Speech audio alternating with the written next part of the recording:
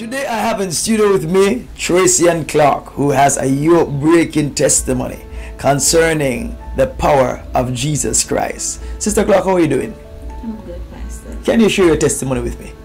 Well, my testimony is in 2010, my 12 year old son, Darian Moses, was diagnosed with the, um, scoliosis. He just began high school at the age of 12. One morning he woke up with a backache. It was so bad I had to take him to the doctor. When I went to the doctor with him, the doctor sent me to Apex to do the x-ray. I went to Apex and did the x-ray. When I went to do that x-ray, God was so good to me. Mm. I didn't even have the money in my pocket. Wow. But I called a friend of mine and he said, I'm gonna pick you up right now for you to do the x-ray. I went to Apex, they did it for me. I came back the same day with the result.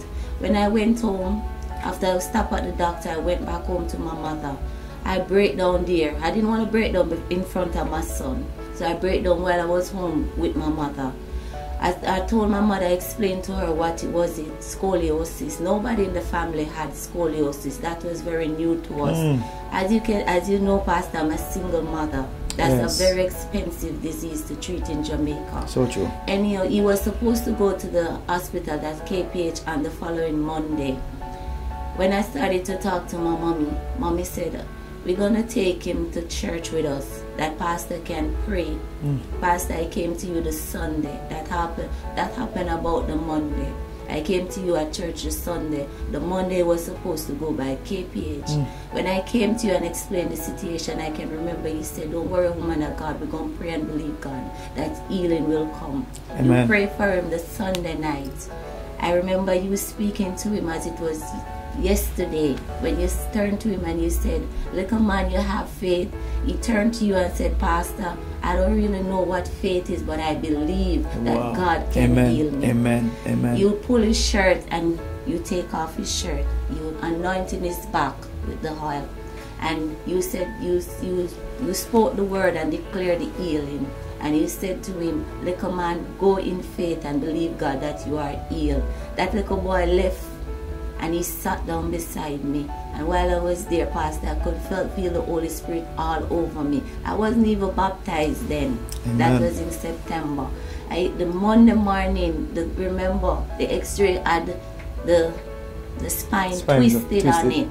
And the Monday morning, Pastor, I took that X-ray to KPH. Yes. The doctor that was supposed to treat Darian also had scoliosis too. Wow. When he looked at Darian, he said, who told you that he has scoliosis? I Mm. said, the x-ray. He said, show me the x-ray. I took out the x-ray and I showed him. The doctor was there looking all over the x-ray. He said, I don't see any twist in his spine on this Wow. x-ray.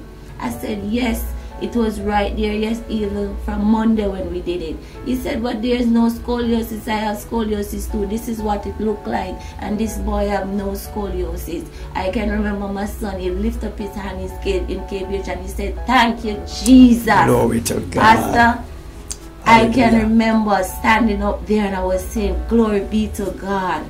Father God, you have done so much for me. I have to serve you. And in um, October, hmm, the 10th Glory and the to 10th, God. I gave my life to, To God. Jesus. I'm Mm. still serving Him. It has been rough, but I'm not giving up. Hallelujah. Thank you very much, Sister Tracy, for sharing such a powerful testimony. Jamaica, you have heard it.